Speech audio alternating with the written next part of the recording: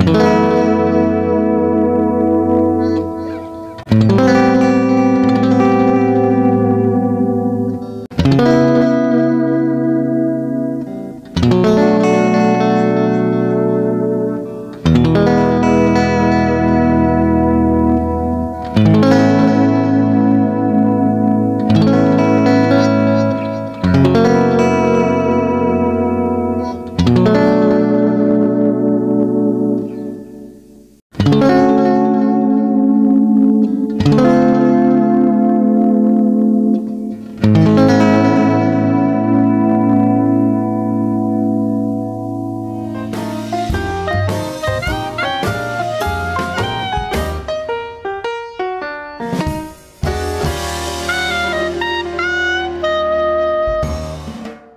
Halo teman-teman, balik lagi di channel Calon Musisi.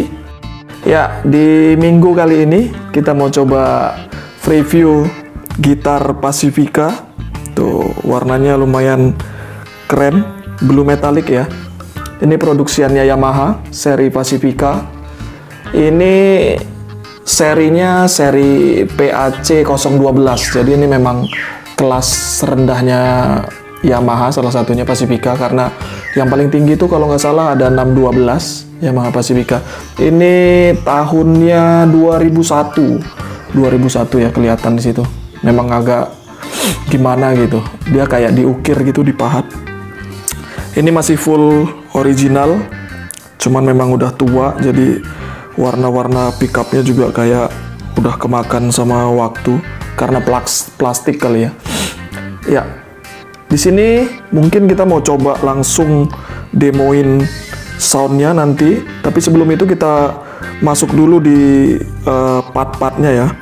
Ini di sini uh, di seat bodinya kita pakai Agatis atau NATO bodinya. Di necknya sendiri maple. Uh, untuk tunernya di situ ada di case ya standar sih, standar banget. Ya pickupnya di sini ada empat pickup, single-single dan double. Kalau sering orang sebut itu HSS ya, humbucker single-single. Uh, switchnya ada lima pilihan switch juga. Jadi ada lima karakter sound. Tombol volumenya satu dan tune-nya satu. Di sini dilengkapi nama handle-nya ya, memang bisa down ya ini ya. Up up-nya bisa sih tapi nggak terlalu banyak lah gitu. Nanti kita akan coba uh, demoin gimana hasil dari soundnya Pacifica 012 pantengin aja di sini ya teman-teman. Ya kali ini kita mau coba uh, suara pickup depannya dengan switch ke arah ke atas. Kita bandingin nanti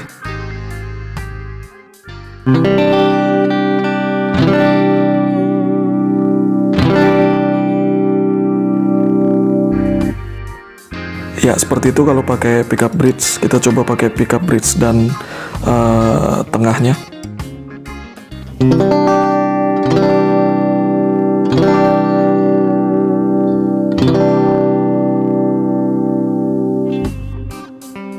Itu. Kita coba pakai tengah aja. Dua-duanya dimatiin.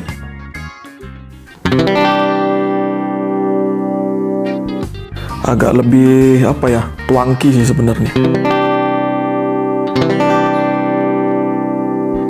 kita coba tengah dan bridge double.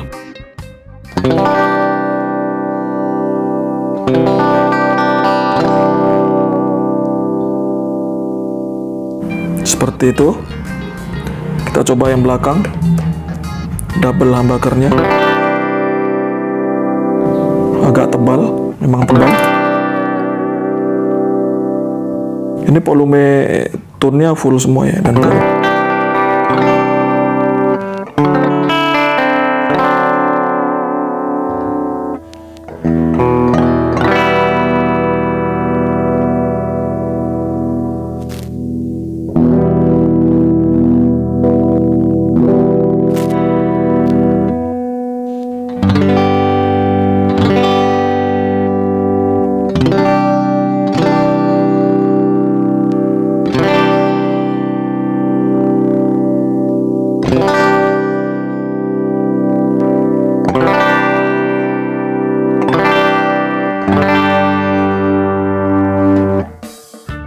Kita coba pakai distorsi.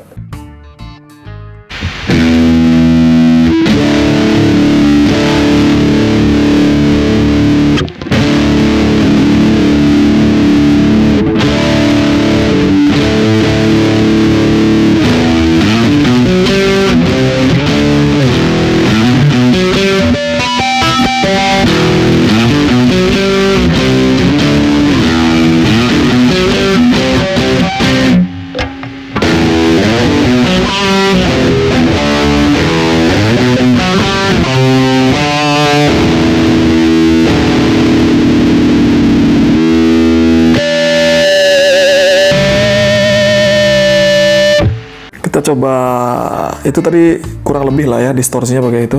Kita coba pakai delay untuk manis-manisan sih biasanya kalau ngisi-ngisi lagu-lagu pop